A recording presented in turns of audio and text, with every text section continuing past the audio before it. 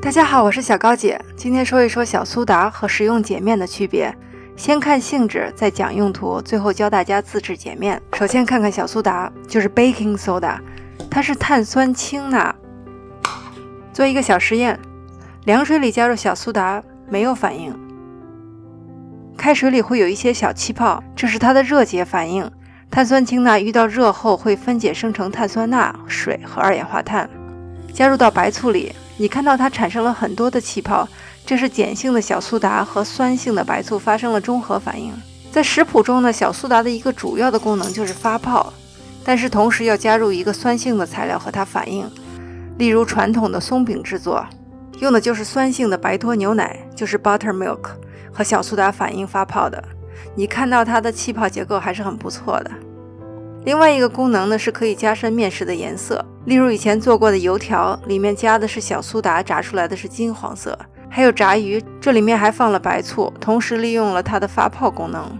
再来看看碱面，它也叫苏打，它是碳酸钠，放到冷水里没有反应，放到热水里也没有反应，放到白醋里会产生气泡。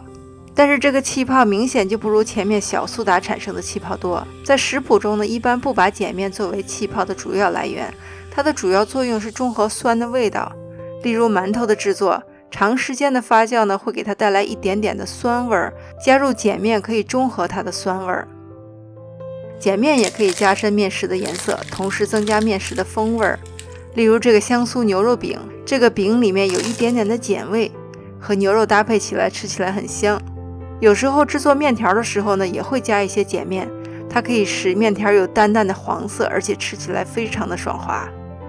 下面教大家自制碱面，主要是利用小苏打的热解反应。小苏打放到预热好的烤箱烤半个小时，半个小时之后关火，凉了之后呢再拿出来，这样可以避免它在冷却过程中和空气中的水接触。